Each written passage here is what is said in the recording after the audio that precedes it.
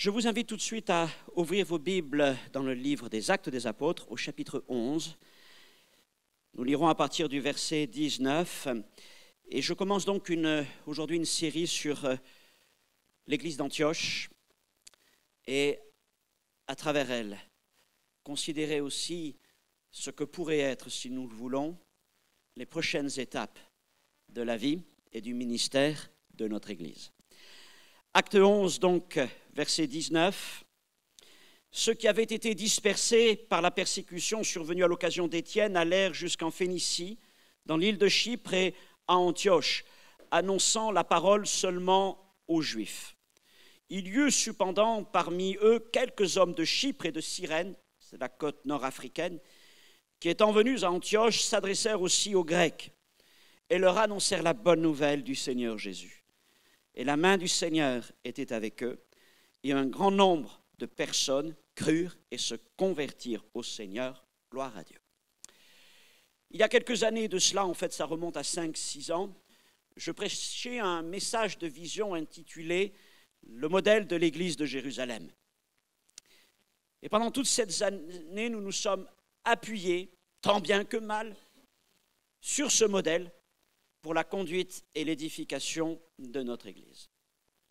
Parmi les quelques points que nous avions retenus ensemble, il y avait l'idée de complémentarité et d'équilibre entre l'Église qui se réunit au temple et l'Église qui se réunit dans les maisons. Et nous avons donc développé, travaillé à nos réunions d'ensemble, nos cultes, et nos réunions, nos programmes à l'Assemblée. Et puis nous avons aussi développé notre réseau des groupes de maisons. On se rappelle aussi de l'importance de l'enseignement. Il persévérait dans l'enseignement.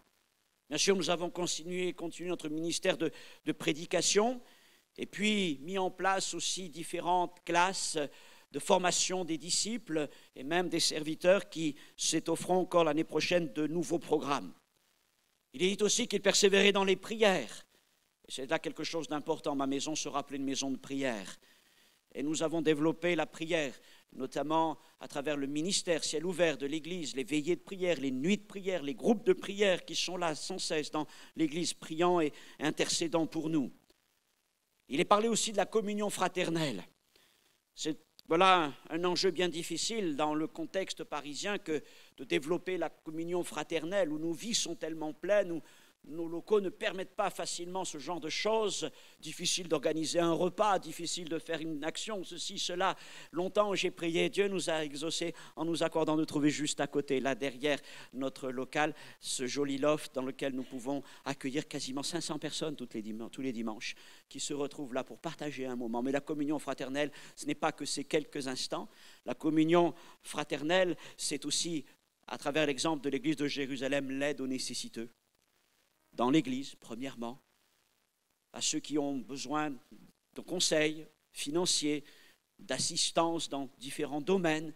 Et nous sommes heureux de prévoir cela, de pouvoir, accueillir comme il s'est arrivé plusieurs fois, des, des, nouveaux migrants, de pouvoir euh, aussi être avec ceux qui cherchent un emploi et Dieu nous permet d'exercer cette solidarité, cette communion fraternelle les uns envers les autres, qui passe aussi par tout le service pastoral, les visites, le département des visites, mais aussi tout, ce qui est accompli au niveau pastoral pour accueillir et prendre du temps les uns avec les autres. Merci Seigneur pour tout ce qui existe. Nous avons donc travaillé depuis maintenant plus de six ans dans, cette vision, dans ce projet. Des ministères ont été semés, plantés, depuis ils se sont bien développés et ils portent de plus en plus de fruits, ils en porteront de plus en plus. Gloire à Dieu pour tout cela. Maintenant, il nous appartient de ne pas nous figer dans ces acquis. Il nous appartient de ne pas nous contenter de cela. Le danger serait de finir par tourner en rond, et même plus, d'asphyxier la croissance que Dieu nous accorde. Parce que c'est ce qui se passa à Jérusalem. Certes, l'Église avait accompli sa mission, il est écrit que la ville était remplie de l'Évangile. Et l'Église de Jérusalem était une Église remarquable, tout était en place, bien structuré, avec des responsables efficaces dans leur ministère, une Église et des leaders qui étaient craints et respectés de tous. Cependant, au point où nous en sommes, entre acte 8 et acte 11, cette Église finissait par manquer de souffle. Elle était confortable, bien établie dans son cadre, mais elle commençait à y étouffer. De nombreuses activités, de nombreux ministères aussi se levaient.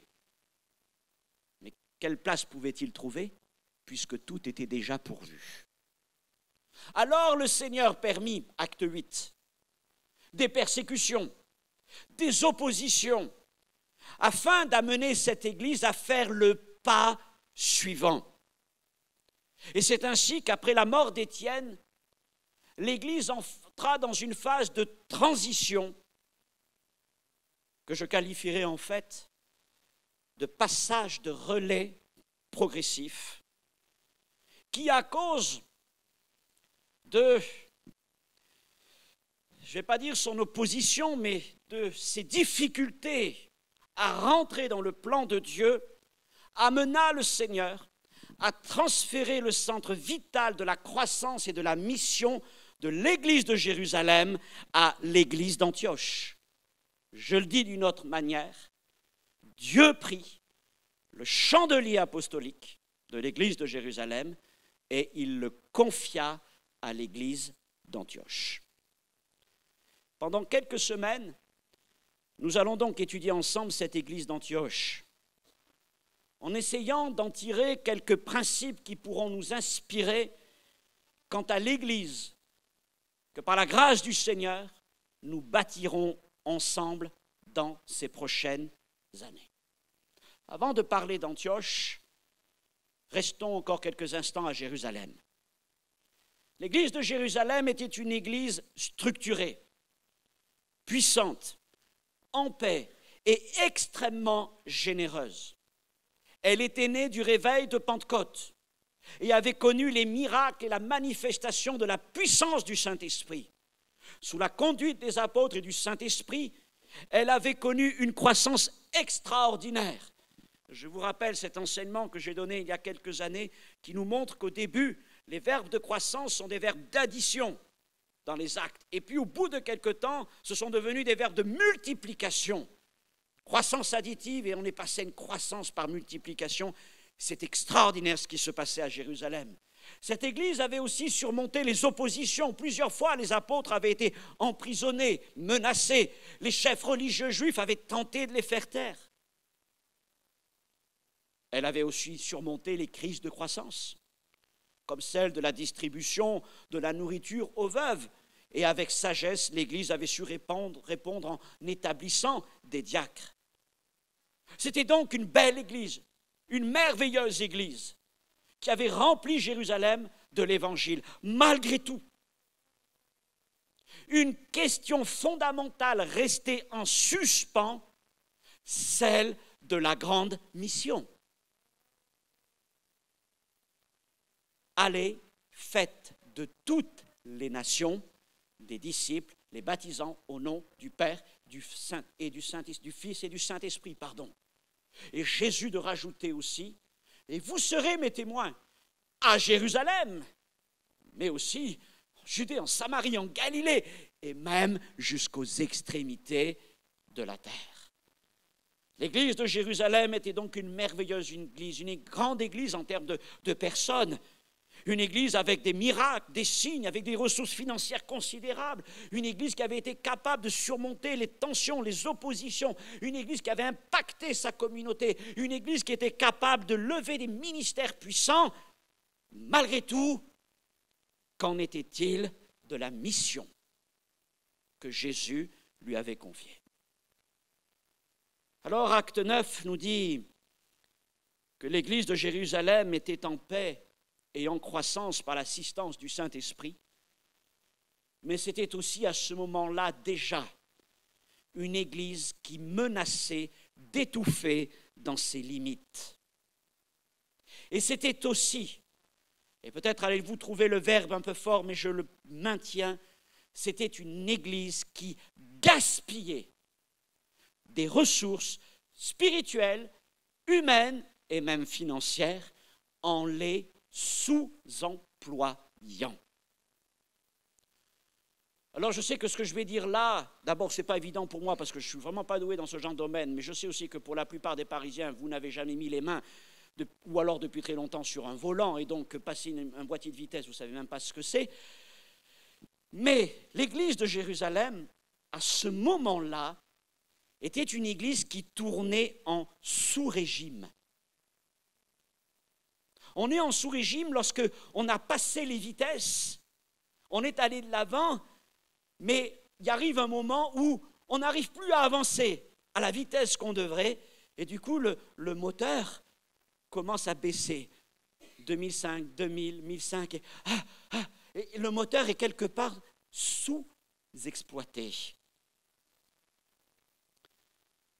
Jérusalem, l'église de Jérusalem, ou plutôt, pardon, oui, Jérusalem, était bien trop petite par rapport à la puissance de l'église qui était dans cette ville. Je le redis, Jérusalem, la ville, était bien trop petite par rapport à la puissance qu'il y avait dans cette église. Et pour cette église, un changement de vitesse s'imposait. Elle devait relâcher la puissance sous-utilisée en la portant ailleurs. Je dirais qu'au point où nous en sommes, si nous ne faisons rien, notre Église ressemblera de plus en plus à celle de Jérusalem une Église qui grandit avec une réelle action du Saint-Esprit, avec des ressources ministérielles, humaines, matérielles, financières. Mais pour autant, si nous en restons là, une Église qui va bientôt friser avec le sous-régime. Autrement dit, notre moteur sera sous-exploité les chevaux humains qui sont au milieu de nous sont complètement inutiles parce que nous n'avons pas la possibilité d'aller plus loin. Et ce qui pourrait se produire, c'est que nous étouffions, sans le vouloir, la dynamique de notre Église. Et vous savez, quand un moteur est en sous-régime, ce qui risque de finir à un moment ou un autre par arriver, c'est de caler. Au risque de perdre notre croissance et nos ressources ministérielles, les hommes et les femmes que Dieu envoie mais que nous n'utilisons pas, au risque de passer complètement à côté de notre mission. Notre mission, ce n'est pas cette église, ce bâtiment, ce lieu. Notre mission, c'est Paris.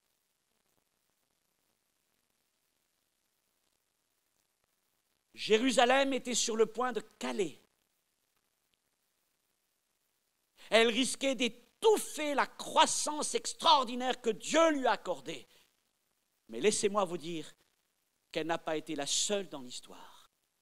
Combien d'églises, de dénominations qui ont connu le réveil, et même encore aujourd'hui, ont fini en sous-régime. Beaucoup de puissance, mais aucun espace pour qu'elle s'exprime. Notre vision ne peut se limiter à Bastille. Notre mission, c'est Paris. Et il faut absolument nous engager ensemble à aller au-delà du cadre de Bastille. Il faut le dépasser, sans quoi il va nous étouffer. Alors le temps est venu, peut-être pour un temps, mais en tout cas, le temps est là déjà, c'est sûr, pour notre Église ici à Bastille, de rétrograder, de changer de vitesse afin de se redonner de l'air. Qu'est-ce que ça veut dire?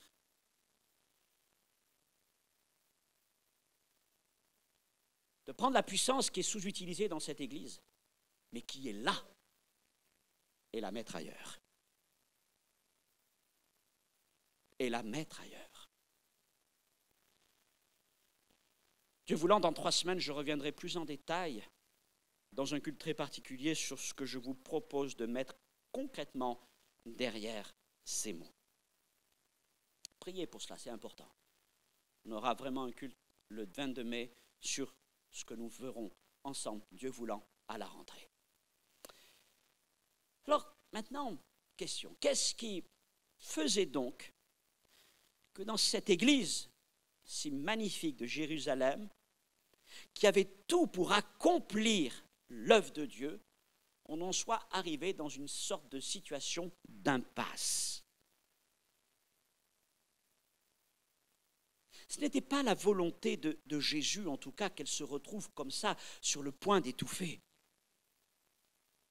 Dès le début, Jésus avait placé devant eux une vision large, ouverte. Elle débutait à Jérusalem, mais elle s'ouvrait jusqu'aux extrémités du monde. Jésus leur avait dit, vous restez à Jérusalem jusqu'à ce que vous receviez la puissance d'en haut, mais ensuite, vous partirez. On parle souvent de ceux qui ne sont pas restés à Jérusalem, qui sont partis trop tôt. 500 avoir entendu la promesse, 120 dans la chambre haute. Mais après, interrogeons-nous sur tous ceux qui ont reçu le Saint-Esprit, mais qui ne sont pas partis.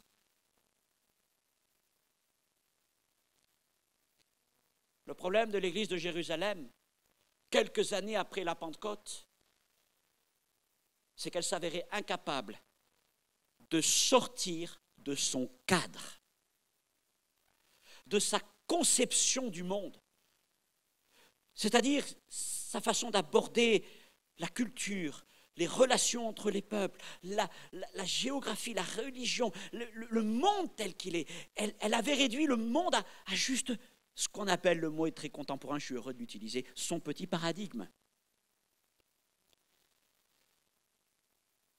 Elle en était là, prisonnier de, sa façon de voir le monde. Ce n'était pas la façon de Jésus. La vision de Jésus est ouverte. Elle est large. Qu'allait faire Jésus avec l'Église de Jérusalem? Il n'était pas question pour lui de tirer un, trait sur elle. Mais je vais vous dire, il n'était pas question non plus d'accepter le statu quo.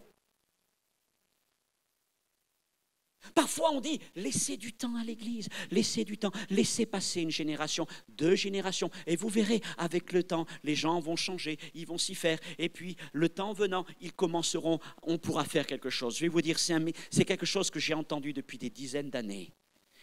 Vous savez ce que la Bible nous montre?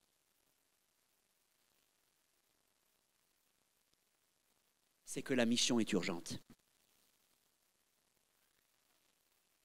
Et qu'il n'était pas question pour, Jésus que le champ de l'Église se limite à Jérusalem et à quelques territoires aux alentours. Alors il allait tout faire pour sortir cette Église de son cadre. on va le voir à plusieurs reprises, il va la forcer à, réfléchir, à prendre conscience et à se dire, mais il faut qu'on se bouge. malheureusement, cette Église s'en est je l'ai dit, on est avéré incapable. Et qu'est-ce qui s'est passé? Le Seigneur n'a pas attendu la génération suivante, mais il a pris quelques-uns du milieu d'eux et il les a envoyés ailleurs. Et au bout de quelques mois, il a pris le chandelier apostolique et il l'a transféré de Jérusalem à Antioche. Parce que la mission est prioritaire. Si l'Église ne veut pas avancer, le Saint-Esprit avance. Parce que chaque fois que nous attendons, attendons un petit peu, attendons que ceci se passe, attendons que les choses commencent à mûrir dans, nos vies, dans nos cœurs. Lui, le Saint-Esprit, voit des gens mourir.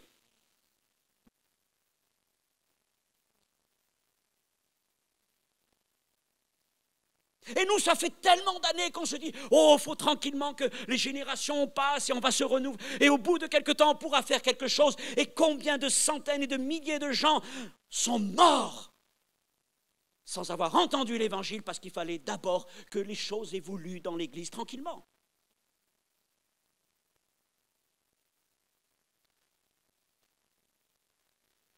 Qu'une Église accepte de changer de paradigme, c'est jamais une chose facile.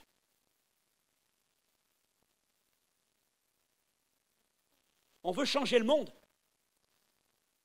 Mais souvent, on est moulé dans notre paradigme, moulé dans notre représentation du monde, moulé dans nos façons de faire, moulé dans ce que nous considérons être notre héritage. Alors si c'est déjà difficile pour concevoir un autre paradigme, c'est encore plus difficile pour y rentrer. Comme le Seigneur est plein de grâce et de sagesse, il n'a pas voulu les, bousculer d'un seul coup, il a voulu y aller par petites touches pour les amener à réfléchir. Alors il a suscité un réveil en Samarie. Là, chez les cousins, Philippe est allé prêcher. Et ensuite, Pierre et Jean, les apôtres, sont venus. Notez qu'ils y sont allés, mais ils sont retournés malgré tout à Jérusalem. Et quelque temps plus tard, alors que Pierre était en train de faire sa tournée pastorale en Judée, dans Acte 9, Pierre n'était plus un apôtre, c'était un, je ne veux rien dire péjoratif, mais quand on considère ce que c'est un apôtre, Pierre était en tournée pastorale, visitant les uns les autres. Il était complètement à côté de son appel. Alors le Seigneur est venu là vraiment le, secouer par la vision extatique de la nappe. Tu as faim, Pierre? Eh bien, je vais te montrer ma nourriture. Une nappe remplie des animaux purs et impurs de la terre, vous le savez.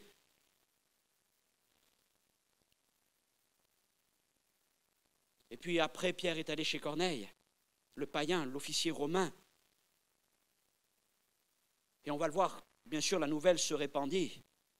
Et c'est là qu'éclata une nouvelle crise autour de la question de l'évangélisation des non-juifs, des païens. Et là, dans ce chapitre 11, dans le passage que nous n'avons pas lu mais qui précède notre lecture, l'Église est là face au défi du pas suivant, comme nous le sommes nous-mêmes. Le chapitre 10 des Actes rapporte donc comment Pierre entra dans la maison de Corneille pour y prêcher la parole et comment le Saint-Esprit descendit au milieu d'eux.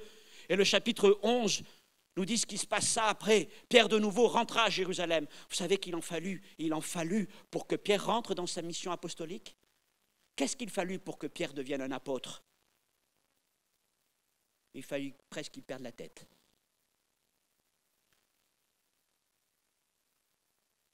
Ayant été libéré par les anges de la prison, il nous est dit qu'il là, il réfléchit, enfin. Et qu'est-ce qu'il fit après avoir réfléchi? Enfin, il quitta Jérusalem et il partit dans un autre lieu. Il en fallut même du temps pour lui. Mais là, encore une fois, il rentra à Jérusalem. Et la nouvelle de ce qui s'était passé chez Corneille l'avait devancé. Vous le voyez au verset premier du, du, chapitre 11, les apôtres et les frères qui étaient dans la Judée apprirent que les païens avaient eux aussi reçu la parole de Dieu. Ils en étaient informés avant même que Pierre arrive. Il n'y avait même pas besoin de WhatsApp à l'époque pour que les nouvelles circulent plus vite que les hommes. Et vous savez, quand les nouvelles circulent plus vite que les hommes, généralement on se fait une opinion. Et le verset 2 nous dit qu'il y avait une partie de, de, cette église de Jérusalem qui s'était fait une très mauvaise opinion. Et c'est un parti très particulier. Nos versions secondes traduisent d'une manière pas tout à fait extraordinaire. Ils disent les frères, les frères circoncis. Mais Darby est plus précis et plus proche du grec, il dit ceux de la circoncision. Par là, il, évoque un, certain parti qui avait beaucoup d'influence, certainement il y avait des anciens pharisiens, des anciens sacrificateurs, un parti qui était là dans l'église de Jérusalem et qui considérait que pour devenir un chrétien, il fallait d'abord devenir un juif. Et leur vision était très centré sur, Israël. Et, c'était eux les tenants de l'église de Jérusalem. Et quand Pierre revient les voir, alors tout de suite, ça y va, grief sur grief. Comment ça se fait? Tu es entré chez des incirconcis et comble du comble, tu as mangé avec des païens? Pour eux, c'était un casus belli. Pierre venait d'enfreindre des, des règles religieuses séculaires.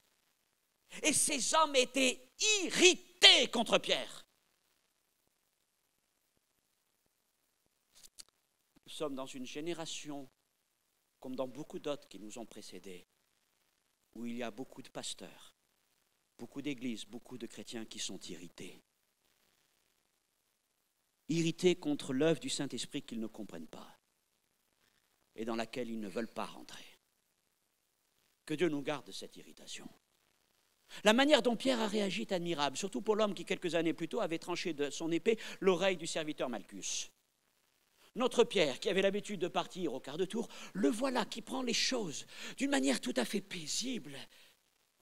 Il n'éleva pas la voix, la voix, mais tout simplement, il en vint au fait, rien qu'au fait qu'il exposa. Et il leur dit, mais moi, vous savez, je n'ai rien demandé. Pierre, si tu avais simplement demandé, ça aurait été merveilleux, mais c'est vrai, tu n'as rien demandé. Tu étais simplement sur ta terrasse et voilà que la vision est apparue. Les animaux du monde dans une nappe. Et nous comprenons quoi Que là, le Seigneur est en train de lui rappeler ce qu'il lui avait dit tout au début. Faites de toutes les nations des disciples. Cette nappe, c'est le nouveau paradigme. C'est l'Église. L'Église, c'est la nappe. Et à l'intérieur de la nappe, il y a des purs, des impurs, des juifs et des non-juifs. Ça, c'est l'Église de Jésus-Christ. C'était le nouveau paradigme spirituel.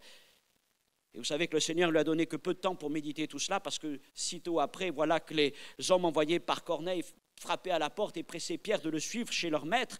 Et il les suivit, et puis vous savez, ensuite Pierre rapporta au, aux frères de Jérusalem comment les choses se passèrent dans la maison de Corneille, la prédication jusqu'à ce que le Saint-Esprit descende sur eux tous et même sur Corneille et ses amis. Oui, le Saint-Esprit était donc accordé à des païens, à des gentils. Il recevait le même don que celui que les apôtres et les frères avaient reçu à Jérusalem et en Judée. Et c'était là quelque chose d'absolument inconcevable jusqu'à présent.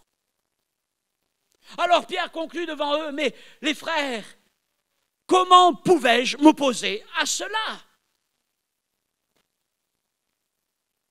Par là, il voulait leur dire, mais, mais moi j'ai été débordé dans cette histoire. J'ai complètement été dépassé, comme dirait un autre, ça s'est fait à l'insu de mon plein gré. Alors si vous n'êtes pas d'accord, appelez le ciel. Le don du Saint-Esprit avait été dans cette histoire l'argument décisif. Jusque-là, c'était le travail de l'homme. Le Saint-Esprit, c'est le don de Dieu. À l'écoute de ces faits, tous se calmèrent et la controverse prit fin, provisoirement, provisoirement, parce que toute l'épître aux Galates, c'est une épître au sujet de ceux de la circoncision. Donc, ça a pris des années pour que ça s'arrête. Et il conclut au verset 18 acte 11, 18, Dieu a donc accordé la repentance aussi aux païens afin qu'ils aient la vie. Et c'était là une déclaration de la plus haute importance. À ce moment-là, l'Église juive s'ouvrait au plan rédempteur de Dieu pour toutes les nations. Je dirais elle s'ouvrait. Ça ne veut pas dire qu'elle y entrait. Mais en tout cas, cette déclaration, c'était une prise, peut-être carrément une crise de conscience que Dieu était en train de, les bousculer. Mais je vous dire, ça n'a pas pour autant produit un grand emballement. Hein. Dieu avait fissuré leur paradigme traditionnel et les obligeait à en accepter un beaucoup plus vaste, mais ce n'est pas pour autant qu'ils se sont engagés dans une action planifiée d'évangélisation, d'envoi de missionnaires et d'implantation d'églises en territoire païen. Ok, le Seigneur a fait ça pour Corneille, ouais, bon, mais enfin, Corneille, d'abord, il habitait en Judée. Et puis c'est un homme qui craignait Dieu, qui avait une façon de vivre qui n'avait rien à voir avec les païens. Ce n'était pas un idolâtre, ce n'était pas quelqu'un qui avait une vie immorale, pas comme ces gens qui habitent à, Rome, à Antioche, à Alexandrie. Ça, ça n'a rien à voir. Lui, c'est un cas particulier. Alors le Seigneur n'a pas attendu que ces gens veuillent bien vouloir mettre en place un comité missionnaire? Mais il en a pris quelques-uns parmi eux et il les a envoyés ailleurs. Et quelque temps plus tard, la nouvelle de nouveau parvint à l'église de Jérusalem. Voilà que Dieu était en train de susciter un réveil parmi les juifs et les non-juifs. La main du Seigneur était sur eux et un grand nombre se convertissait. Et laissez-moi vous dire, pas dans n'importe quel endroit, mais le pire de tous, Antioche. c'est comme si aujourd'hui le Seigneur suscitait à Paris un réveil place Pigalle ou rue Saint-Denis. Et je rigole pas quand je dis ça. Parce que le niveau de moralité à Antioche était vraiment très bas. Et c'est là que Dieu a choisi d'agir. Le Seigneur nous surprend toujours, c'est certain. Ce n'est pas l'Église qui a choisi, c'est Dieu qui a envoyé des hommes. C'est la main du Seigneur qui était sur eux. Ce n'était pas les ressources de l'Église, c'était la main du Seigneur qui était avec eux. Et quand l'Église de Jérusalem a appelé, a appris la chose, notez-le bien, j'y viendrai plus en détail, peut-être je reviendrai en plus en détail, mais c'est la, je crois que c'est la première fois, la seule fois où il dit qu'ils envoyèrent un homme. Parce que jusqu'à présent, quand c'était à Samarie, ils avaient envoyé deux hommes. Pourquoi? Parce que Jésus leur avait dit, allez deux à deux. Et le travail missionnaire se faisait deux à deux. Et quand ils envoient qu'un homme, pour moi, ils n'ont pas l'intention que cet homme fasse un travail missionnaire. Mais s'ils n'en envoient qu'un, c'est en lui disant, tu seras un observateur. Et tu viendras nous dire ce qui se passe. Mais s'ils avaient voulu qu'il y ait vraiment un travail missionnaire, ils ont envoyé deux hommes. L'homme qu'ils ont envoyé était certainement très excellent, c'était le meilleur. Le Saint-Esprit savait, il a gardé les choses, il a envoyé Barnabas. Mais notez, Barnabas n'était pas un apôtre à cette époque. Ce n'était pas Pierre ou Jean ou un des disciples, c'était qu'un frère parmi les autres frères. Comme pour dire, ils s'y sont investis, mais bon, on ne va pas trop en faire.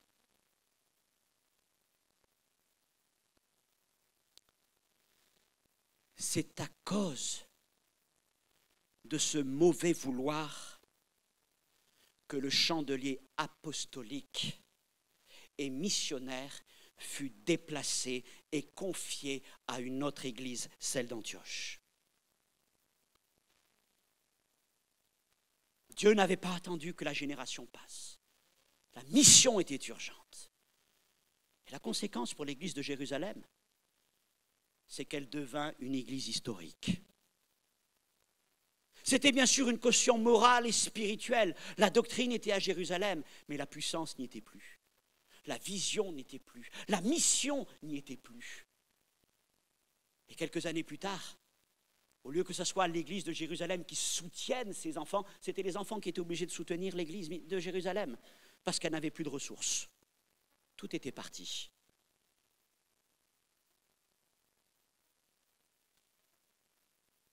Je finis en disant que beaucoup d'églises de dénomination qui ont connu un temps de réveil et de croissance forte, de croissance forte se sont malheureusement enfermées dans leur paradigme initial et n'ont pas été capables de faire le pas suivant, en franchissant ce cadre dans lequel elles ont commencé et connu la bénédiction.